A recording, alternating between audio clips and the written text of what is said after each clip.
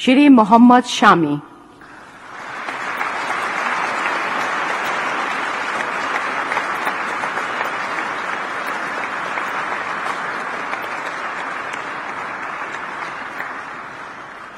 श्री मोहम्मद शामी एक उत्कृष्ट क्रिकेटर हैं।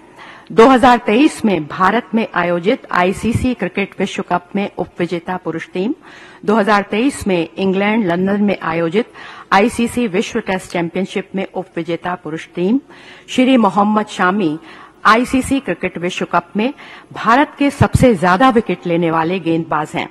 श्री मोहम्मद शामी को क्रिकेट में उनकी उत्कृष्ट उपलब्धियों को मान्यता प्रदान करते हुए वर्ष 2023 के लिए अर्जुन पुरस्कार प्रदान किया जाता है।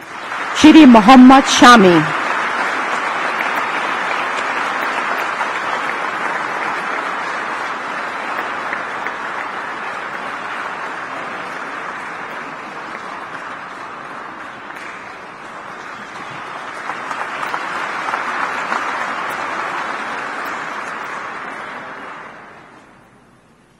श्री अनुष अग्रवाला।